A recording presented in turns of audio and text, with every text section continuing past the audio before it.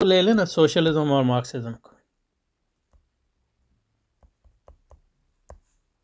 बहुत से लोग सोशलिज्म और मार्क्सिज्म को एक ही माने में लेते हैं।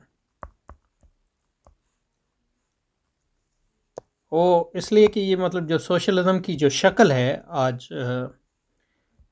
जिसको ज़्यादा लोग जानते हैं, वो मार्क्सिज्म है। फिर मार्क्सिज्म की मुख्तलिफ़ तशरीहत हैं।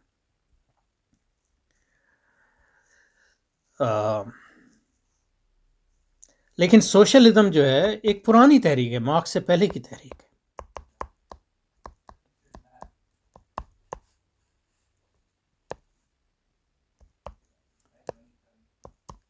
और मार्क्सिज्म जो है, सोशलिज्म की सोशलिज्म की एक शक्ल है।